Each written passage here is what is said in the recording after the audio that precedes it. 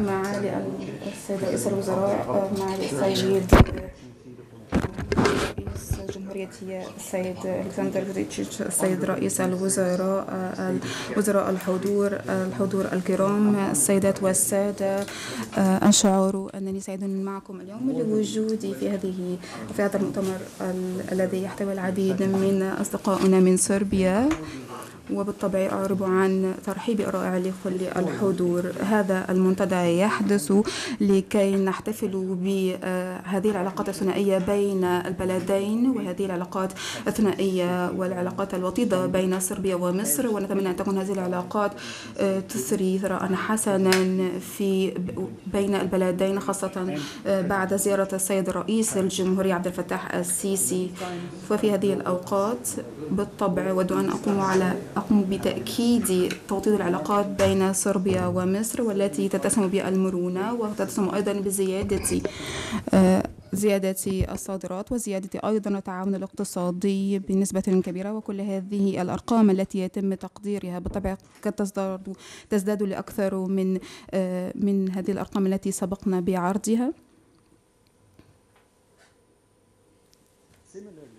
وكذلك أيضا لدى الإصلاح الاقتصادي بين مصر قام بتعزيز أمتنا تجاه التحديات التي قمنا بتصدي إليها. لقد أصدر الاقتصاد الخاص بالعديد من المرونة من أوجه المرونة لكي يكون هناك إدراج ومشاركة من أصحاب الشركات المعنية من أجل تعزيز الاستثمارات من أجل تعزيز الاحتياط النقد الخاص بنا. هذه الأشياء التي تصدى لها هؤلاء هاتين الدولتين أصدرت أن هذه العلاقات الاستثمارية والعلاقات أيضا الودية أبدت بلاء أبلت بلاء حسنا. لقد تصدرنا من 100 مليون إلى أكثر من هذا ولكن إلى حوالي 208 مليون. بالطبع لقد التزمت مصر بخلق بيئة تتسم بشمولية جميع أوجه الاستثمار وبالطبع جراء توجيهات السيد عبد الفتاح السيسي لكي يكون هناك مرونة مع الإيكو سيستم أو النظام البيئي الخاص بهذه المشاريع التي يتم إنشائها وتدشينها في مصر. كذلك أيضا وجود الاستثمار في هذه المناطق الحرة الموجودة في مصر. بالطبع إن التزام مصر لدعم القطاع الخاص هو شيء مهم جدا. لقد أبدته أبدت جمهورية مصر العربية اتجاه وطيد تجاه هذا الأمر من أجل تعزيز المشاريع وإنشاء المشا... تعزيز المشاريع والشراكة بين القطاع العام والخاص. مصر بالطبع أبلت بلاء حسنا في توفير اهتمام رائع لكي يكون هناك أيضا اهتمام بالاتفاقيات الحرة.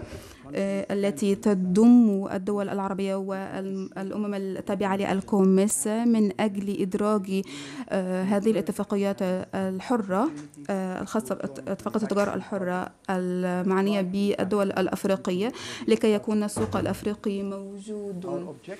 وأن هدفنا واضح تماما أولا تعزيز هذه الخطوط الاستثمارية الخاصة بنا ومن ثم تعزيز القطاع الخاص وكذلك أيضا لكي يكونوا أكثر قوة من أجل تعزيز هذا الاستثمار المحلي وغيره ولكي يكون هناك أيضا مصادر محتملة من الجانب الإنساني وكذلك أيضا من الجانب المحلي لكي يكون هناك منافسة في الأسواق العالمية. الحضور الكريم من قبل مشاركة هذا الالتزام الخاص بوجود التعاون الاستثماري بين البلدين أود أن أقول لكم أن هذا المنتدى يفتح الأبواب أمام كل القطاع الخاص بجميع بشتى مجالي لكي يشاركوا في هذا الصدد. نشارك الأهداف الصربية في السوق العالمي بالتركيز على المزايا التحفيزية والتنافسية لتعزيز القدرة الاستيعابية الخاصة بنا. النهاية الخاصة بهذه الاتفاقيات المبرمة بين الدول بالطبع هي خطوة مهمة جدا وهو أول شيء قمنا بفعله أثناء وجود الوفد الصبري هنا في مصر بالطبع لكي يكون هناك تعزيز لتعزيز هذه العلاقات. ومن أجل أيضا إزالة هذه القيود الجمركية على المنتجات التي يتم بثها في الأسواق بين الدولتين. ومن, ومن ثم أيضا تعزيز الوجود الجانب المصري والصربي في في الأسواق الخاصة بالبلدين. أود أن أعرب عن أهمية العلاقات وأهمية الفرص التي تعرضها مصر بناء على ما تبثه هذه العلاقات في مصر وكذلك أيضا وجود مستقبل للشعب الصربي والشعب المصري من أجل تحقيق أيضا النتائج الجيدة لهذا المنتدى.